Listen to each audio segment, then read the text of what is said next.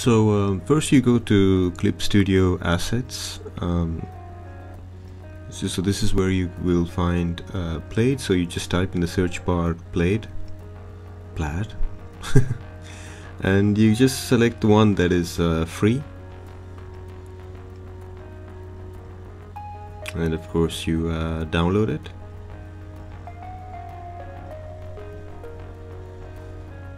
Okay, so it's downloaded.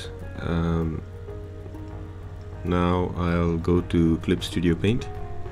So now I'm in Clip Studio Paint. I've already created a shirt with some like unified color filled in. And um, so I'll just open uh, the assets window and I'll go to download. And it's already selected so I'll just select one of the plates and uh, so if you see on the right hand side you have the layers uh, on the right hand side and um, I'll just so there is one that I've created for the uh, the red color that is the filling color. Uh, just one on top of that that I'll be using for the plate. And the one on top of that is the line line art. So I'll just pick it up and just drop it. So now that I've dropped it I can just close this window. So I go up on the left hand side and I select this button and I push this button called scale rotate. Right.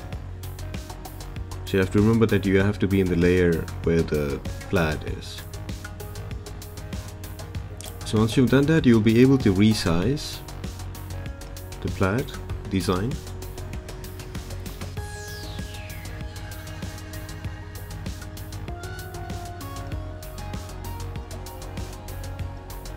and you just click OK and you're happy with it.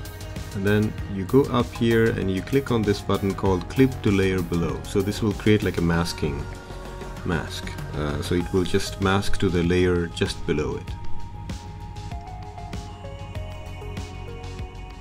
And there you have it. That's a plaid shirt. So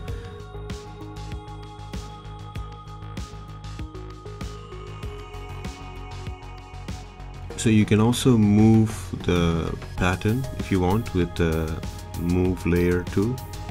And there you have it. Uh, thank you for watching. Um, please like subscribe and share. And uh, this is Boris for Sketchman Draws signing off